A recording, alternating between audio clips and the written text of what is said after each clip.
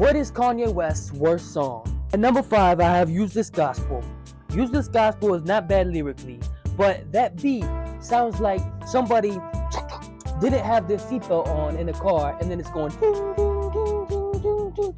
and it's so annoying and it's just irritating every single five seconds. It also has Kenny G in it. Why does it have Kenny G at the end? That sounds so horrible. That like literally that that does not fit with the song, the original part, first part of the song at all.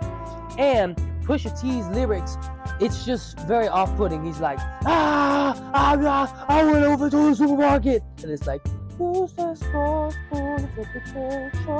at number four, I have On Sight, the worst song on the album Yeezus. Now, this is like if Daft Punk had a homeless person producing all of their music. It's very off-putting, it's very loud, it just sounds very muffled and disturbing. Kanye is talking about absolutely nothing. He's just mumbling throughout the whole verse. My chicken ate my dog. It did that to that. I went to the store and I walked over and got some groceries. It's like when my father is trying to freestyle. It just sounds so weird. It's, it's just gibberish. And on top of that, in the middle, the middle section is just weird and it's out of place. It's like if they started playing uh, Somewhere Over the Rainbow during Frank Sinatra's I Did It My Way. And number three, I have Drunk and Hot Girls. Now, I know to me this doesn't sound that bad, but to a lot of people this sounds horrible, so I'm putting it at number three. I think that my one criticism for it is Mos Def literally sounds like an Indian 12 year old SoundCloud rapper. So he just goes, oh yeah, ah, oh yeah, stuff like that. And it's just very disturbing. It's not very pleasing to listen to. My main criticism is Mos Def, and the chorus is just straight up kind of weird. These drunken hot girls, like he's trying to do something and it's just not working. It's just, it's just kind of weird. At number two, I have the iconic Drake beat, Lift Yourself. This would have been so much better in the hands of Drake. Believe it or not, OVO, 69 God, it would have been better at Drake's hands.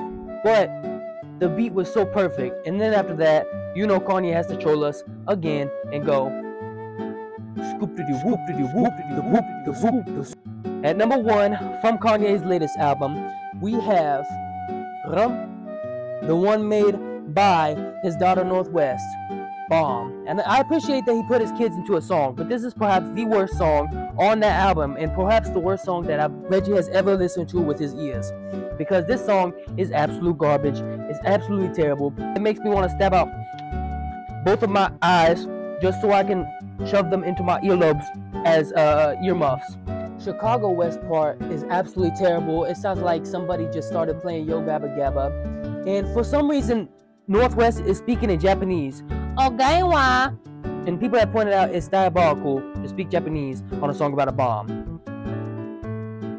Make sure to like the video if you want to see more of this stuff and subscribe. And Reggie is out of your piece.